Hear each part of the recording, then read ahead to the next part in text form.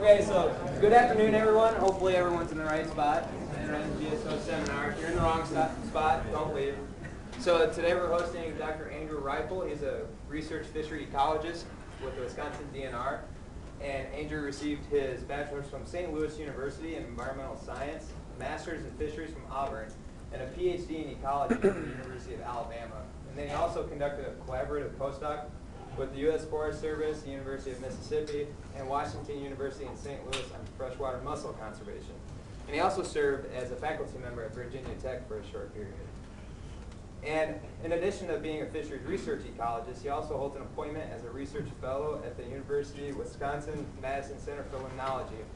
And currently, among a lot of other accomplishments in your short time, he also has over 40 peer-reviewed journal articles out. And today he will be talking about a renewed need for fisheries ecology in our rapidly changing world. All right, thanks. Um, so thank you, Chris. Thank you, um, everybody, for having me um, talk here. I've I've always been interested in Iowa State and the fisheries program at I Iowa State, um, going back to Carlander. Um, if you don't have Carlander's books, you should get them. I feel like it's text that every fisheries student at least should have. Um, and then the, you know, the co-op program really came out of Iowa State. So I feel like this has been sort of a center for fisheries ecology and conservation. So it's a great place to talk. I'm very pleased to be here, interact with everybody. And I just want to talk a little bit about my research today, um, some of the ideas I'm interested in, some of the challenges that I encounter um, in an agency research environment, um, and how I see sort of the future shaping up in terms of how we think about um, fisheries management, fisheries ecology in the context of management. Um, so this is um, just a fun title slide that I put together of different places I've been, different things I've worked on, and it's just meant to give you sort of a breadth of kind of all the places I've been, things I've done. And I want to start off by showing this figure, which is a figure that probably a lot of you have seen before. Um, oftentimes you'll see this in the introductory pages of a fisheries textbook, and it's supposed to illustrate the three-legged stool of fisheries management. So um, fisheries are really managed um, by managing fish, people, and habitat. And oftentimes management is occurring at the interaction of all those different areas. Now, I think it's a great conceptual framework. It actually came out of wildlife management. But if you think about what fisheries ecology is, which is really the, the study of fish species and how they relate to their environments, which, you'll, what you might come up with is a very similar graphic which is that fisheries ecology is also about how fish interact with habitats, how they interact with people, and how people are changing all of that. And so this is sort of a long-winded way of, for me to say that I think fisheries management and fisheries ecology are not as disparate as people have made them out to be over the years. And that we're actually studying a lot of the same things and we're just calling them different things. So I want to present some of the examples of my work and try to maybe convince you a little bit of that argument. So this is a, um, an example of that same sphere, but what I've done here is scaled the size of the spheres to how much money um, a certain state, um, which will remain nameless, spends on each of these different spheres. And so what you can see is that in true fisheries management in the world, we spend most of our money um, thinking about fish. Um, for obvious reasons. That's what we see, that's what we're used to thinking about.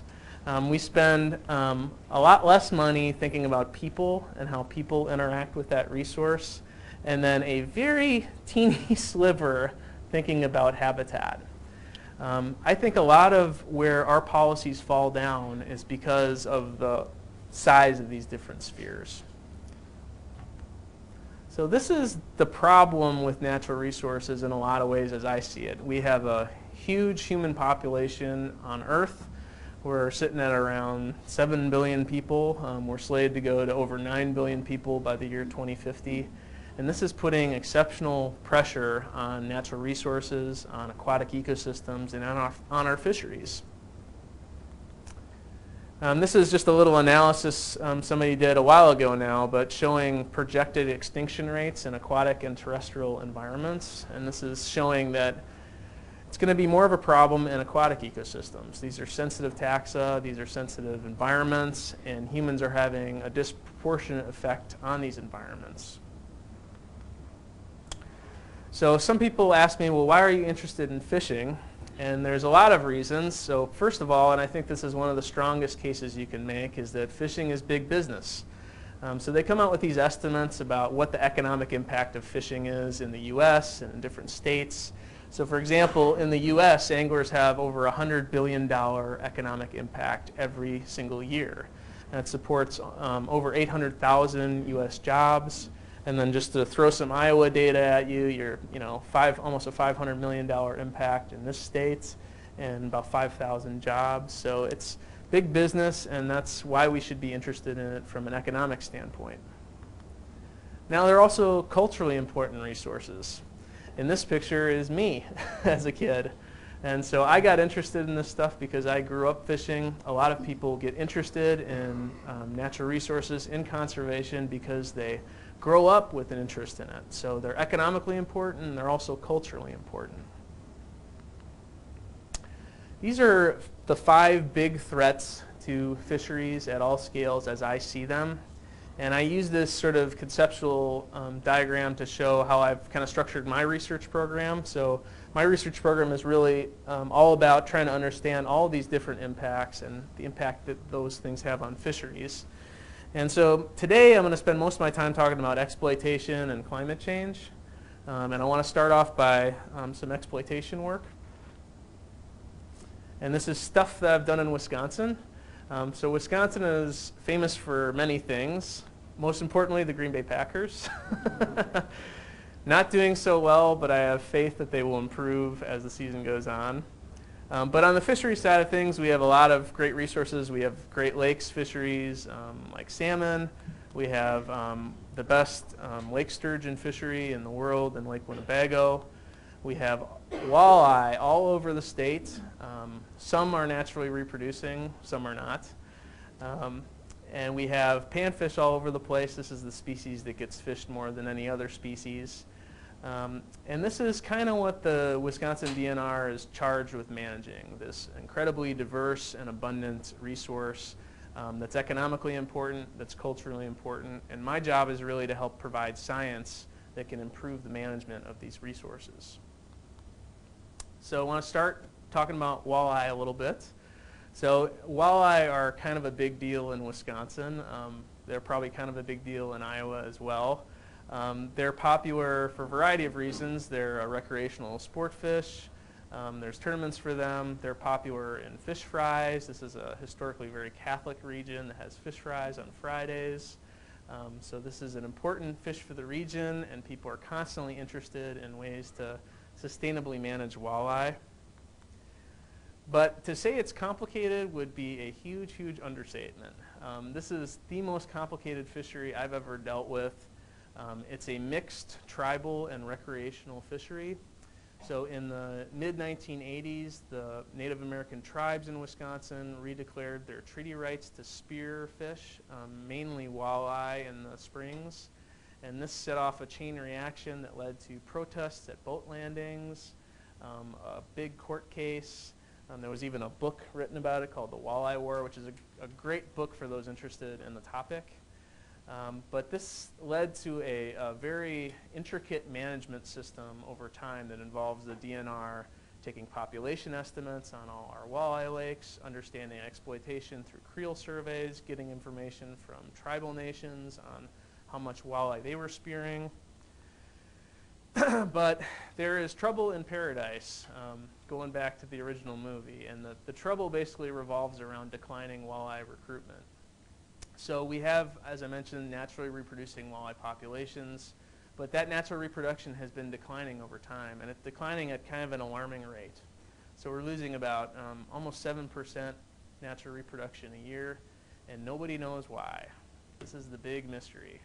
Um, so I'm open to any and all explanations for what is causing the decline of walleye in Wisconsin, but there are many potential explanations. Um, this is a map showing the location of declines. So the, the more blue the dots are in this map, the more significant the declines have been. Greens would be increases in recruitment. So you can see that there are some increases in some places, but for the most part, everything is blue. Recruitment is going down. Now at the same time, largemouth bass densities, which are conspecific with walleye, um, their densities have been going up over the same time period. So you can see there's all green dots on this map and very few blue dots. So we have bass going up and walleye going down, and this is what's become known as the quote-unquote bass walleye problem um, that everybody seems to notice and nobody seems to be able to understand. So there's a big team of us in Wisconsin that are working on this. These are people at the Madison Center for Limnology, the DNR, um, the co-op unit at Stevens Point, graduate students, postdocs, and we're all working on various components of this issue, which obviously is very complex. This is a graph that um, my colleague John Lyons made of all the potential interactions that could be occurring with walleye and bass um, in these food webs. So you can see that there's exploitation changes going on, there's shoreline development, there's invasive species, there's warming temperatures, lake level changes, and there's all these interactions that could be occurring.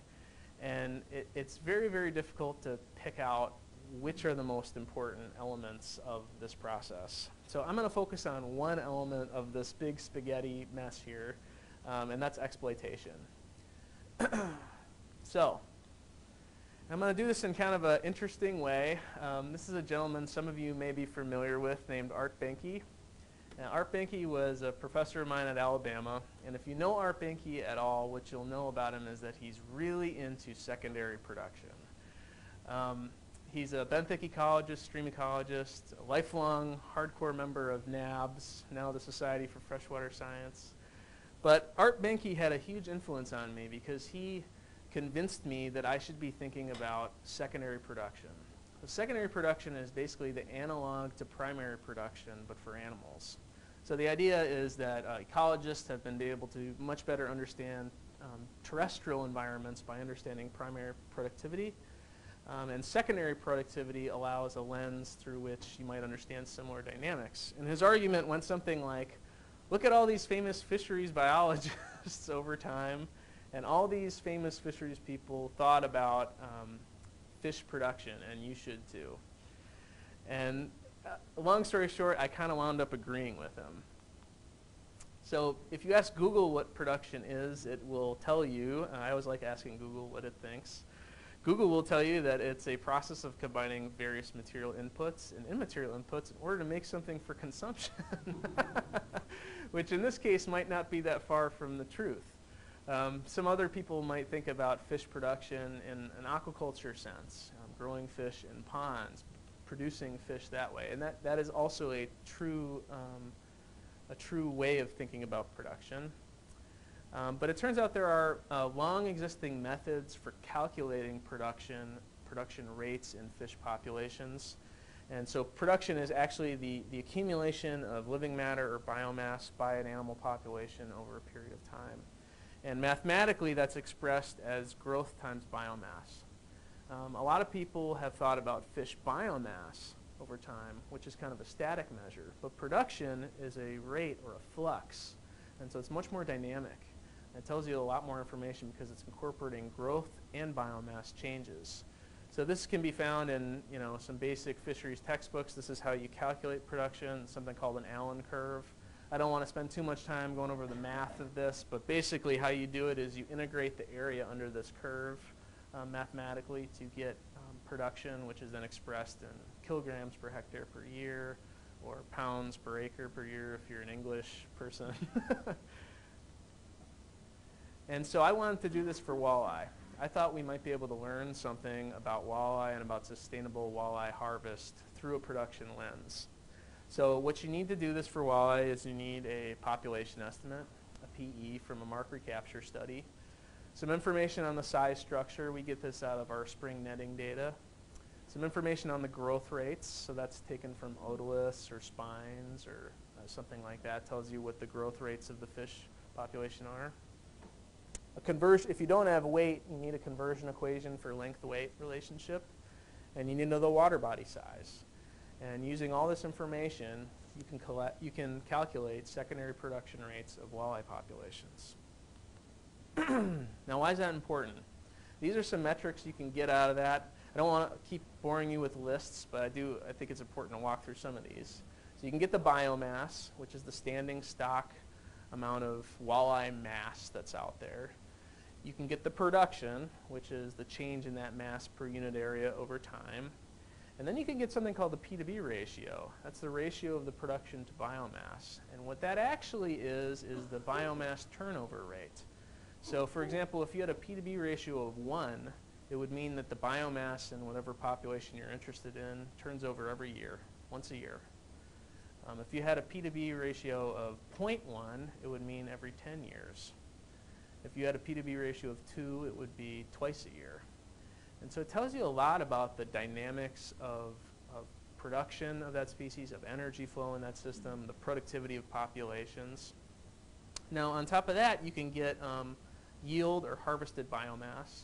That comes out of a creel survey. So people sitting at boat landings, interviewing anglers, and you calculate the total mass that comes off of um, all the anglers' harvest over the course of a year. And then this is the big one, is you can get something called the yield to production ratio. Some, this has been called the ecotrophic coefficient in some cases. And this is the metric that I've focused on. This is how you can get at sustainability. Because if you know what the production rate of a population is, and you know what the yield that people are harvesting off that population is, the simple ratio of those two variables tells you a lot about how sustainable your harvest is. For example, if you have a ratio of 1, that means that 100% of the annual production is being harvested by, by anglers. And that um, exploitation above that would be predicted to deplete biomass over time. So I've really latched onto this idea of, of yield to production as a simple way of uh, incorporating um, some information on sustainability. And I just want to point out that these are um, metrics that derive from ecology, um, dating all the way back to Lindeman. That's the most famous paper in limnology. He talked about the energy flow, flow of energy in systems. And that's what production is. Production is tying into understanding energy flow in aquatic ecosystems.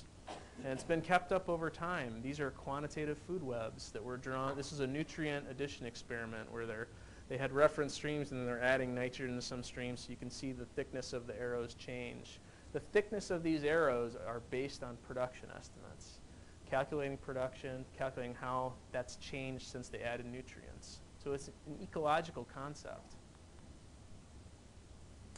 So the big million dollar question in Wisconsin is what is sustainable harvest? What is it? Um, and we have, when I first started looking at this, we have one particular lake that has really good information on walleye that we wanted to focus on first. It's called Escanaba Lake.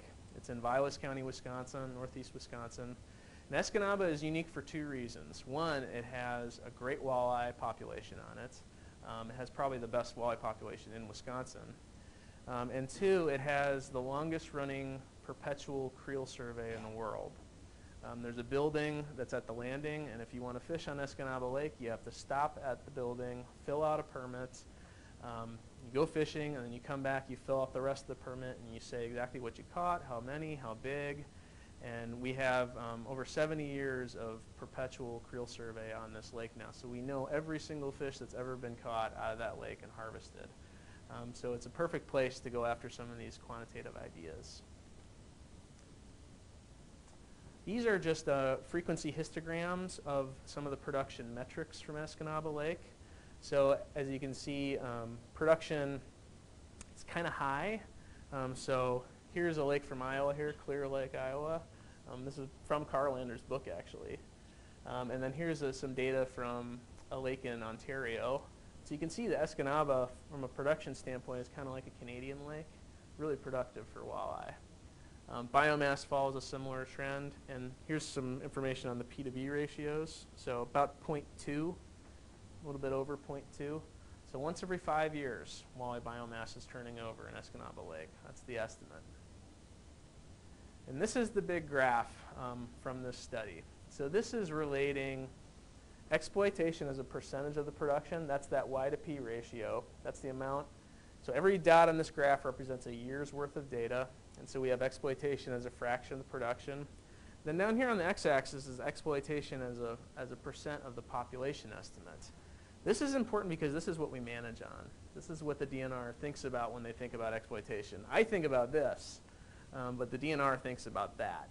They want to know what's, what's the million dollar um, sustainable exploitation rate for walleye populations. So as you can see, the, the, as you exploit more of the adult population, you also exploit more of the annual production. And the big question is, is where does that line cross 100%? So here's 100%. So all, this is, these are cases where you're overfishing in the red.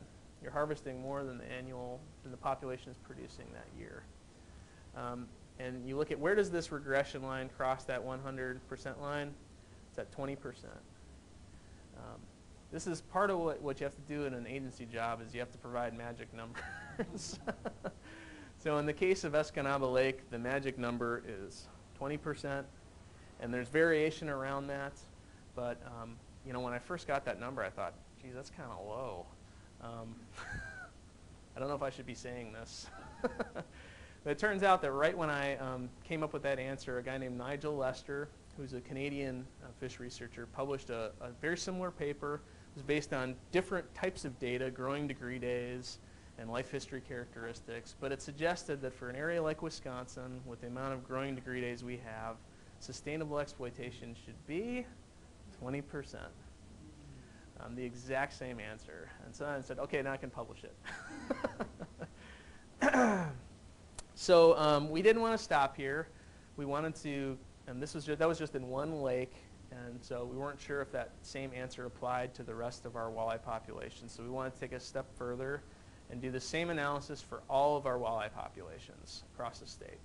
So um, we hired a postdoc to do a lot of the coding of this work. It is a high quantitative drain to calculate these things sometimes. So we hired um, Daisuke to calculate these production metrics and look at this at more of a regional scale. So these are results that are coming off of his postdoctoral work at the CFL. Here's a similar graph as I showed for Escanaba, but across all the ceded territory, all, all of northern Wisconsin walleye lakes. And I want you to notice a couple things here. First of all, that the graph is skewed towards the left. So most of our walleye lakes are low biomass lakes. You know, we like to think that we have a ton of biomass everywhere, but in fact, most of our lakes are low biomass lakes. And if you compare our biomass numbers to some other published values, um, like in the south, walleye actually do occur down south, but they have very low biomass numbers. Here's Iowa, right here. Um, here's Oneida Lake in New York, and then here's Canada. Canada has super high biomass values. So Wisconsin sits as a median somewhere in between Iowa and Oneida Lake. So there's a definite latitudinal trend to walleye biomass that is interesting in its own respect. Here's the same graph, but with production rates. Um, so it's even more exaggerated, more exaggerated, skewed towards that left. So most of our walleye lakes are low production systems. Um, that's a very important point. We can't fool ourselves thinking that we have high production systems everywhere. Most of them are low production systems. But what's neat is you can pull out lakes and lake year combinations. So these are lakes that have really low um, combinations of production. These are lakes that have super high values. And then there's Escanaba Lake, again on the high side. And these are the spatial patterns in walleye production across Wisconsin. So the bigger the point, the more the production. And the point here is that our northeastern lakes, which are deeper, colder, um, a little bit less productive in terms of um, primary primary productivity, that's where we have more walleye production. This is where walleye production is highest. It's about 1.5 times higher than walleye production in the west, which is shallower lakes, more fertile. Um, so those are the good lakes in the northeast. And this is kind of an interesting graph showing the relationship between production and biomass. So every point on here is a different lake or different walleye population. So what you can see is a few things on here. Um, first of all, biomass is a really good predictor of production. Um, if you have a lot of biomass, you're going to have a lot of production. There's error all around that. But then you can look at lakes that kind of are bucking the trend. So these lakes in red here are lakes that have um, not a lot of biomass, but a high production rate. So they should have more biomass than they, than they actually have. So these are lakes where something's going on. Um, so you might think they're getting harvested too much. Um, but another way of looking at it is that they have a strong recovery potential. If you just took your foot off the gas a little bit, they might recover. Now contrast that with these blue lakes down here. These are lakes that have um, really low production rates, but high biomass. So these are the equivalent of like an old growth forest. Um, they grow slow, they're not productive, but when you sample the walleye, they're really big. Um, so these are lakes where you might think about conservation. Um, you know, people could go in there and clean it out really fast and they'd be gone. So it's kind of an interesting way. And, and the relationship between those two is actually showing you the average P to B rate as well. This production divided by biomass. So it's about 0.2. The slope of that line is at least. That's basically P to B. Okay, so this is the harvest evaluation. Um, same thing as we did for Escanaba Lake, but throughout the whole ceded territory. And the answer is, ding, ding, ding, 21%. Um, so very, very similar to the result from Escanaba. And if you break that out by um, just spearing, if you look at just spearing, you get 21%. If you look at just angling, you get about 20%. If you look at them combined, you get about 21%. So everything constantly keeps converging on this value of close to 20% is the sustainable number for walleye. These are trends in those production statistics over time. And so this is showing sort of uh, the recruitment problem as well. Um, so we're having declining biomass, about 7% over time. Production has declined by about 50% in Wisconsin. Um, 50%, that's pretty crazy. And P to B ratio has also declined. That's, that's a problematic as well. I think these trends are being driven by the lack of recruitment. And that's a big, that's a big factor that goes into these calculations. Now this is what's interesting about this story, is that exploitation rates as a percentage of the population estimate have been very constant over time. On average, we exploit about 12% of, of populations across the region, almost consistently, and that hasn't changed over time. It bounces around, but on average it's 12%. So everybody thinks everything's fine in terms of what we're exploiting. But the problem is production's going down. Okay? So you're exploiting at the same rate, but because production's going down, your Y to P ratio is going up over time. So this is what Post talked about in his famous fisheries paper as the invisible decline. Um, you can be monitoring one thing, but because you're not looking at another thing, you're missing an important dynamic that's going on. So as you can see, we've been exploiting over time more and more and more of the annual production to the point where in the northwest we're at almost 100%. In the northeast we're at about 70%. This is a big deal. Again, everybody thinks things are fine, that exploitation is not a problem because we haven't changed exploitation. But the productivity is changing underneath the exploitation, and that's causing potential overfishing problems. Um, so that's basically the story with walleye as, as I'm starting to understand it on the exploitation side of things. But again, there's all sorts of factors going on, and this is just one piece of the puzzle. So I just want to wrap up by quoting um, Tom Waters, who pioneered a lot of these techniques and whose techniques I've stolen to look at this stuff. And he, he said very um, appropriately that he believes there's an advantage to relating harvest to production rather than a static standing stock. Both harvest and production are rates based on annual dynamics. The coefficient clearly illustrates the proportion of energy, again, ecological energy, removed by angling to the energy added by production. So it makes sense to me. I'm really pushing for use of these sorts of approaches and I think it's kind of neat. All right, let's um, change it up a little bit and talk about panfish. This is another um, area that I'm working on pretty intensively. Um, panfish are probably the most abundant species that we deal with in Wisconsin. They're important in that um, they're caught more than any other species of fish by anglers. Um, the problem is you can't find a lot of fish like this anymore unless you go to really far-flung places in the middle of nowhere where nobody else goes.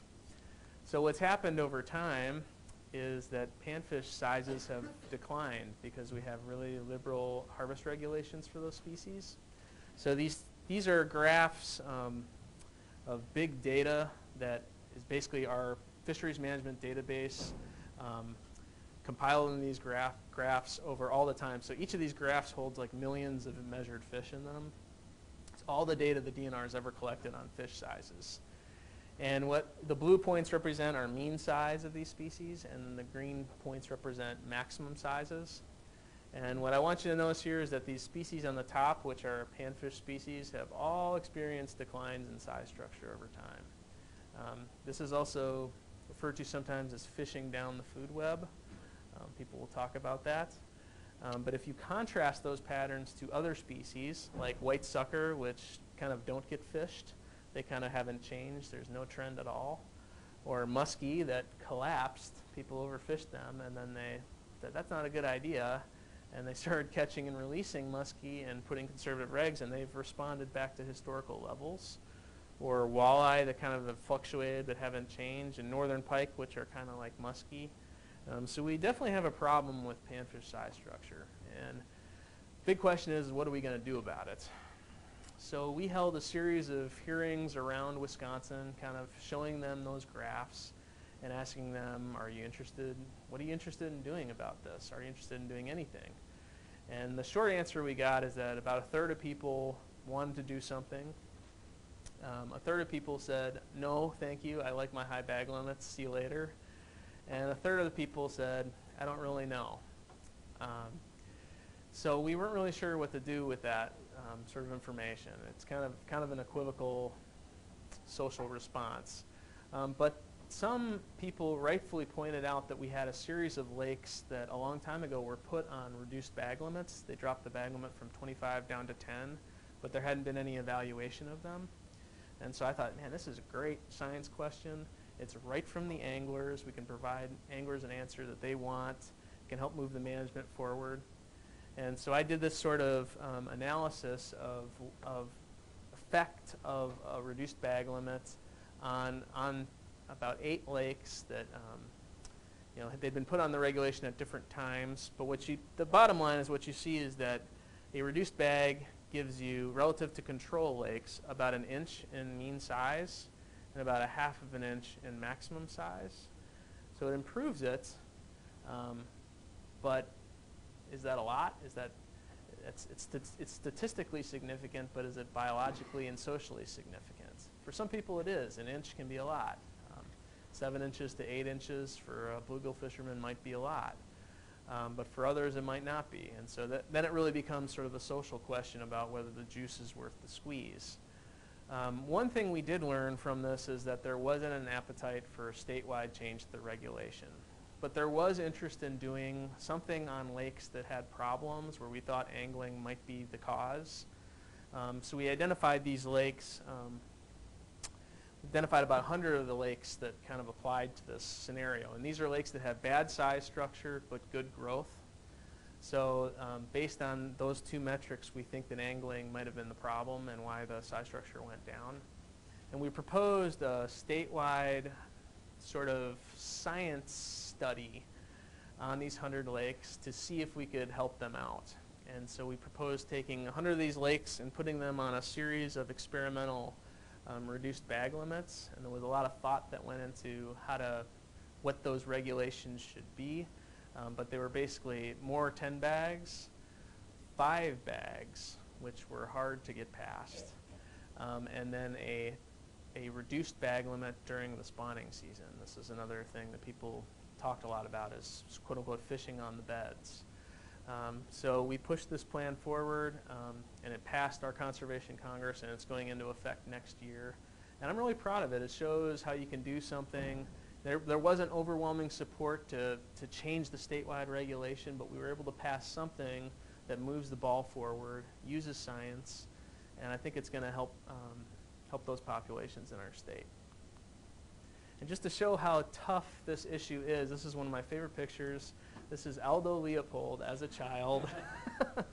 and look what he's got. He's got a stringer of panfish. Um, so even the king of conservation, who Wisconsin likes to claim, but is from Iowa, and so this is actually on his family Iowa house. Um, even the king of conservation couldn't resist a nice stringer of panfish. Shows how hard that problem is to deal with. Okay, I want to uh, um, spend some time talking about climate change um, and some of the some of the work I've been doing with there. This is kind of an interesting study I've been involved with recently involving Cisco. Cisco are a cold water um, fish endemic to um, northern North American lakes. Um, so at the southern end of their range is Indiana, and they occur all the way to Canada. What's interesting about this is that now Indiana, Wisconsin, and Minnesota have all done comprehensive surveys of lakes that were historically known to have ciscos, and they've gone back to those same lakes and seen if they can find them. So I'm leading sort of a multi-state effort to synthesize that information across the region to see where are we losing Cisco, where are we not losing Cisco, and we found some pretty interesting patterns. so this is a map of all the lakes that have Cisco, and I've coded the colors. So the black are Cisco populations that have not been extirpated, and the redder populations that have been extirpated. Again, this is a collaboration with agencies and UW-Madison, LTER, and what you can see is this sort of latitudinal trend in extirpation. There's a lot of red in the south.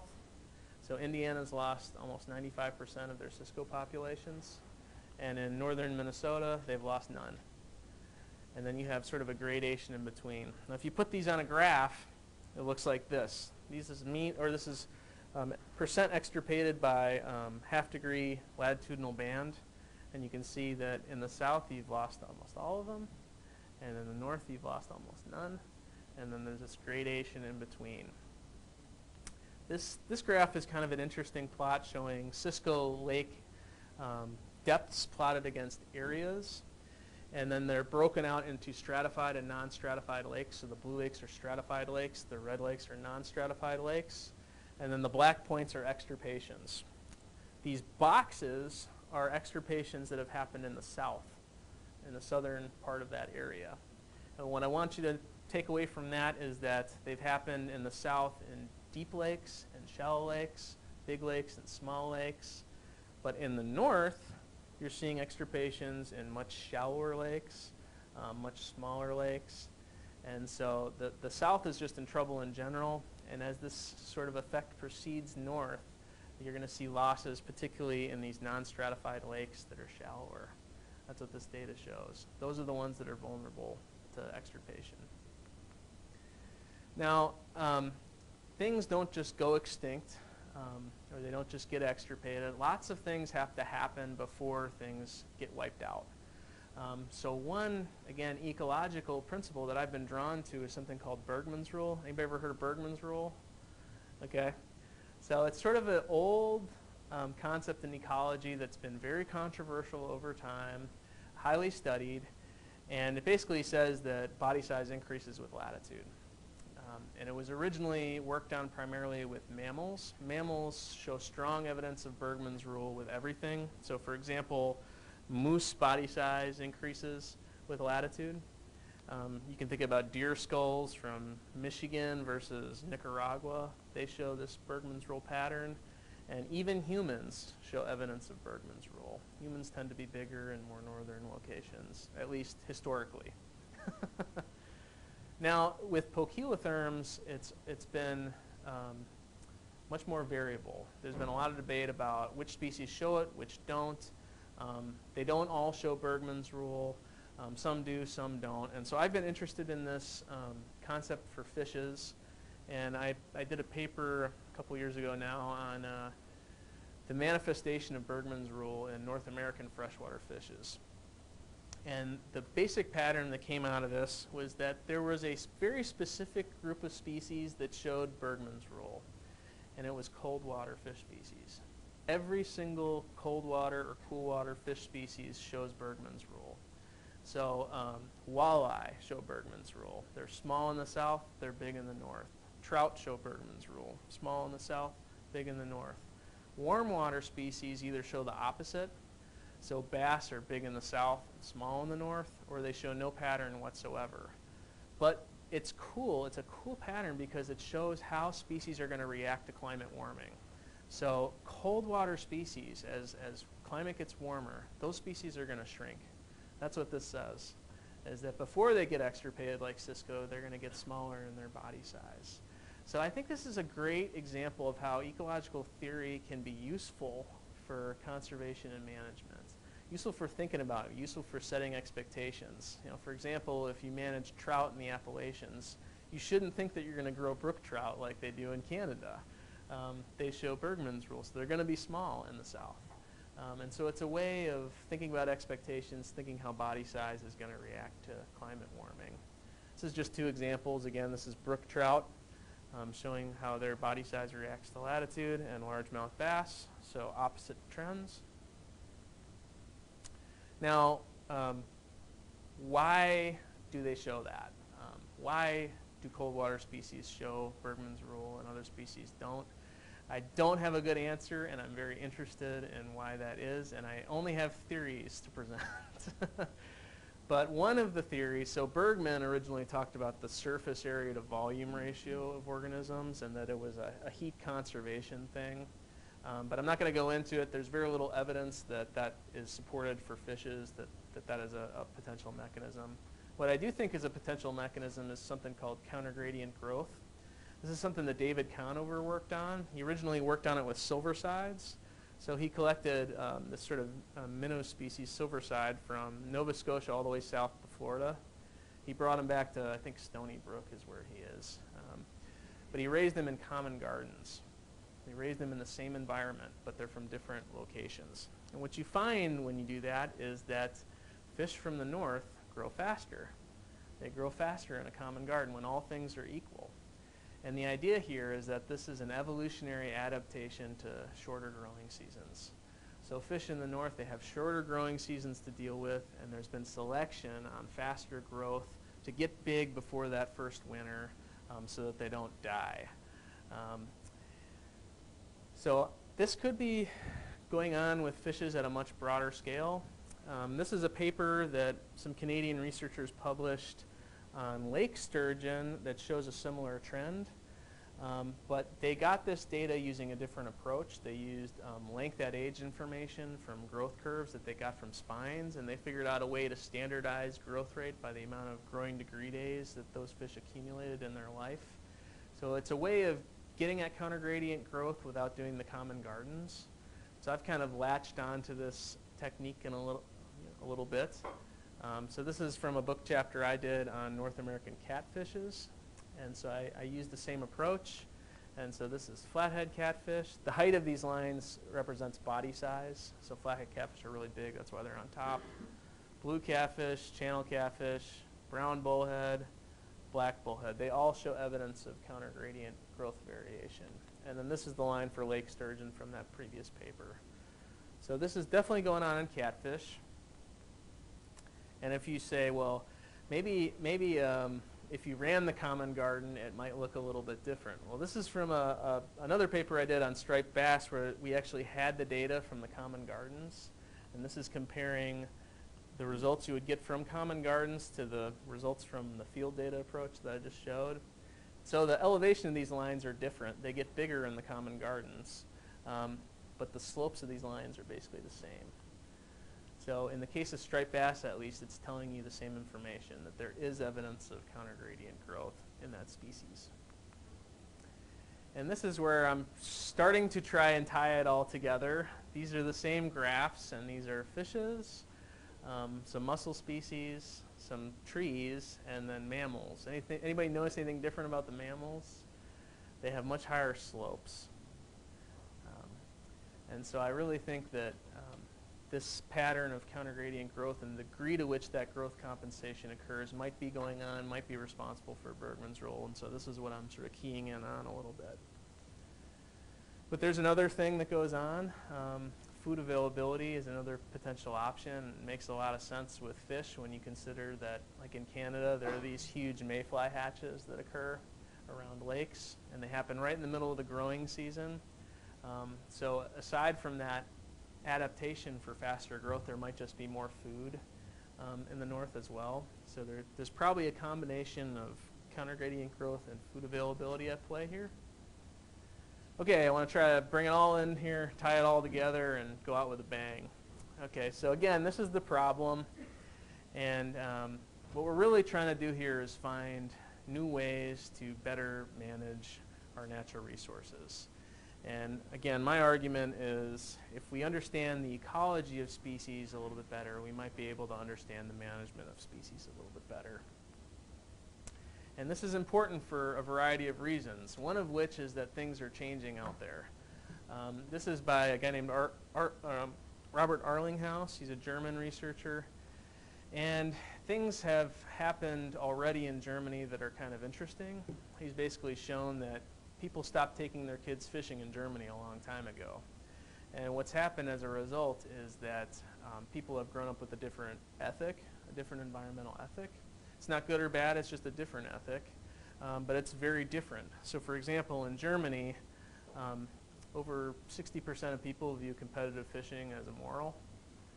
So that ethic of um, fishing as a, as a thing everybody does has really changed over time. He's published these papers as kind of a coming to a theater near you, America. Um, he may be right, he may not be right. I know people that can argue both ways. But I think the point is that things are changing out there, both from an ecological standpoint and a social standpoint. And we probably need to be thinking more broadly about um, fisheries ecology, fisheries management, and how it all works together, probably in a different way than we historically have. It's, it has been kind of going on in the U.S. A lot of states are struggling with declining fishing license sales. Um, it hasn't been an issue in Wisconsin yet, um, but that's primarily due to baby boomers retiring and spending more time fishing. If you look at license sales among younger demographics, they've been declining for years. Um, and this is going on in total license sales in many states already. For example, Virginia is seeing this already. This is going to totally upend how conservation work is funded, how it's conducted over the next 30 years. It's something we should all be thinking about, and it's something that I think how we conceptualize research should be thinking about as well. So in a lot of ways, I feel like in most of the places I've been, people have talked past each other. People shouting ecology, people shouting fisheries, and in reality, we're studying the same thing. Um, you know, as the DNR, we have a very clear mission statement. It hasn't changed over time. We're supposed to manage the resource. We're supposed to do it sustainably. We're supposed to do it for future generations um, which may or may not be different from how we think about things. Um, so all this is, is to say, um, I don't know, things are changing, and um, hopefully we can figure out new and better ways to do it. So I just want to acknowledge a lot of people, a lot of funding resources that have contributed to all this. And again, it's great to be here. Take any questions.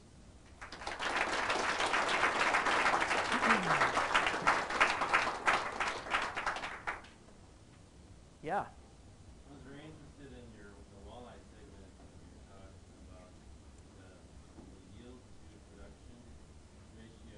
The sort of the break point was about twenty percent. Right. So that for the two or three different cases.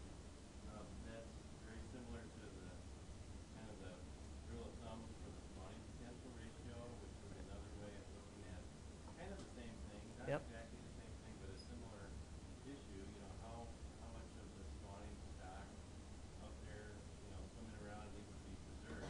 Yeah. They go about it a different way, but the rule of thumb that thinking of it from the marine fisheries world is about twenty percent. Yeah. Yeah. Uh, yeah, so um, I'm supposed to repeat the question in this mic. But uh, so the question is about 20% sustainable exploitation for walleye. And um, yeah, we've talked about this a lot. There seems to be something sort of magical about 20%, um, particularly with walleye, and, and we don't really know why. What I, what I can tell you is that um, I talked a little bit about P2B rates. And I don't think it's a coincidence that the average P2B rate for walleye is about 0.2, um, or once every five years. I mean, that is the replacement rate for the production. Um, so I think there's probably, I, I don't know that that idea is out there that sustainable exploitation might be kind of like P2B rates. But I know in Nigel Lester's work, he suggested that sustainable exploitation should be about natural mortality. Which natural mortality and P2B are very similar to one another. So um, there certainly is something ma- magical about the 20%, and yeah, it's interesting that it keeps coming up. Yeah. You also mentioned twelve percent as where you're kind of aiming for, or what it's actually managed for. Yeah. I'm wondering if you're taking out the full annual production of twenty percent, what's left over for the raccoons? yeah, well, um, so the 12%, um, you know, this is my this is my argument with with um, managing based on percent of the population is that that 12% can be composed of a lot of different things. You can have 12% by harvesting a bunch of babies. You can have 12% by harvesting only adults. But from a biological and eco- ecological standpoint, those are very different things. What's great about production is that it integrates that. So you can get to 12% um, or 100% of the production in a variety of ways. You can harvest, um, you know, a moderate amount of big fish or a lot of small fish. Um, and so it, it's really integrating the, the size and biomass of what's harvested more than just the numbers. And the numbers can mean a lot of different things. You can have 12% a lot, a lot of different ways. That's what I think is cool about the production. Yeah, yeah Kevin. So you mentioned, uh, you were earlier thinking of the walleye stuff, you were talking about uh, reproduction at some point, Yeah. understanding that. And from what I understand about walleye in Wisconsin, a lot of them are stock, and the s- sort of the, the stock that they use is sort of like a a riverine-based walleye stock, and I would imagine they probably all come from, probably like the same hatcheries more or less, or the stock that they're using is all essentially the same.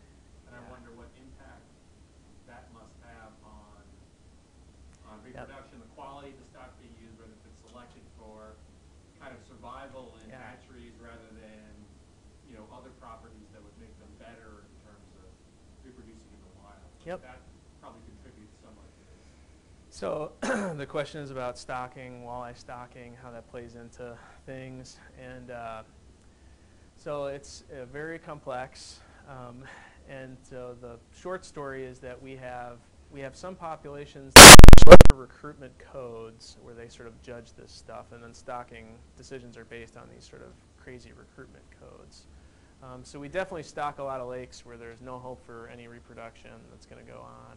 We do stock some lakes where there's a little bit of natural reproduction, um, but our good lakes we don't we don't stock those at all. Um, and in the good lakes, we've seen declining recruitment. Um, so these are lake, lakes that haven't been stocked. In some cases, we're seeing more severe recruitment in those situations. Um, so it's it's hard to say. That's not to say it couldn't still be a factor. I mean, a lot of these systems are connected to each other, and then there's the old baked bucket biologist problem that people move fish around. Um, so the genetics still could be. But you know, I've been heartened. I mean, we've looked at walleye genetics a couple different times. Brian Sloss has done some of this work. And every time we look at the genetics, we find that they've retained their signal over time.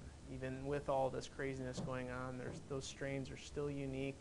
There might be a little pollution going on, but they're still pretty unique. And so I've been kind of heartened by the, by the conservation of the genetics in walleye in Wisconsin over time. But yeah, if somebody can figure out a better way to grow walleye so that they'll reproduce in new systems, it'd be great. or maybe not so, depending on your point of view. yeah. When you did that study with the, the climate change and the different populations north and south, another thing that I kind of thought of is there's another thing that changes in those regions. Right. Land use. Yep. Take a look at that at all, 'cause I looked at those places down in Indiana, there's a lot more you know, Absolutely. pollution. I know you don't want to talk about that bit. Yeah, I kind of glossed over that, didn't I? yeah, so that's um, that's sort of the problem with those data is that um, both of those factors are going on. So temperature and land use are collinear with each other on that Cisco gradient. So it gets warmer as you go north to south, but it also the land use also changes as you go north to south. Um, so that's kind of where we are with the study is we're trying to acquire the land use um, data from Landsat and create a model that would, again, it, it wouldn't be a perfect model, but it, it might suggest whether temperature or land use was more or less important in the model. what I can tell you is that there's some interesting patterns in those Indiana lakes. Um, the, there's like five lakes that have retained Cisco in Indiana. They're all deep, um, so they all have cold water habitats, but they all also have small lake sheds, um, which is kind of like the land use idea that they're not draining these huge agricultural regions with a lot of phosphorus. And so I think land use is hugely important, and maybe we can kind of cursely get at it with a model, um, but we'll never be able to definitively say, I don't think. It's, it's obviously a problem. Yeah, Mike. You touched on it a little bit, but I wonder if you could expand on, if you looked at density dependence in the walleye at all, and we start pushing these populations further and further back, we're going to see any kind of stock improvement response, those populations are going to recover? Yeah. Have you just hit the high end of carrying capacity for some of these systems, and that's why recruitment's failing? Yeah, there, um, there definitely is density dependence going on. Um, for example, we've, we've done some work with how growth rates have changed over time. So growth rates of old fish have declined, but growth rates of young fish have actually increased recently, and that's probably a density dependent response. We have done some uh, population dynamic models um, that suggest density dependence is not um, the factor going on. Everything seems to point to um, a recruitment issue um, where we know that walleye are successfully reproducing. They're reproducing, we can see the eggs, they're having successful swim up, um, but then they disappear and we don't see them again until fall when we do our recruitment surveys. Um, so something's happening between swim up and the fall where they're, where they're being lost. And this, that is the million dollar question is, where are they going? Are they getting eaten? Are they getting eaten by bass? Are they getting eaten by sunfish? Um, are they starving to death because there's not enough zooplankton, because the phenology is all messed up? Um, uh, is it a habitat issue that there's just not enough habitat for them to um, you know, survive in? Um, so we, we just don't know. Um, so there's a lot of potential studies we're talking about about trying to figure out what that bottleneck is. And then there's potentially another bottleneck um, because we see them when they're in the fall of their first year, but then we don't see them again until they're about three years old and they start showing up in the fike nets. So there's another bottleneck that probably occurs when they're one and two years old that we know even less about. so studying fish recruitment is just really hard. It's like banging your head against the wall. Um, I wish we knew. It, it is the million dollar question.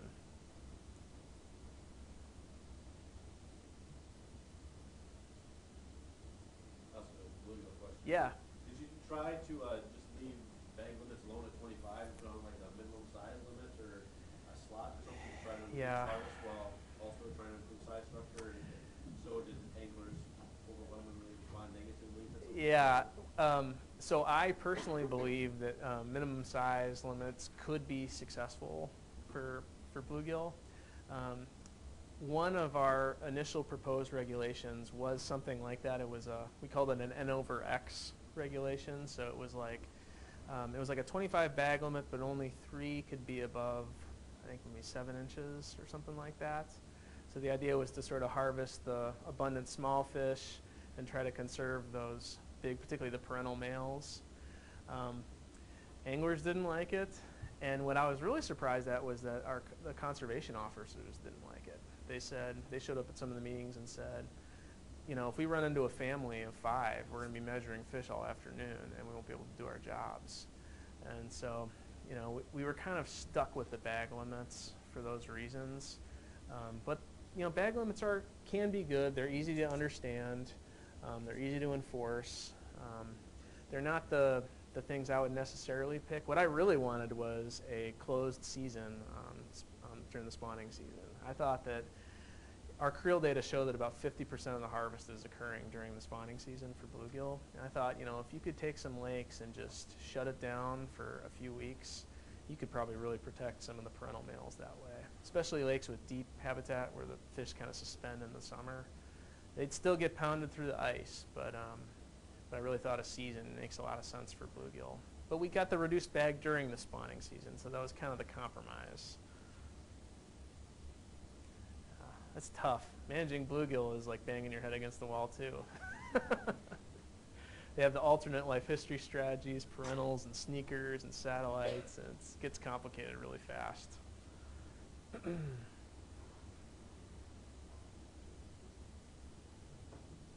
All right, thanks everybody.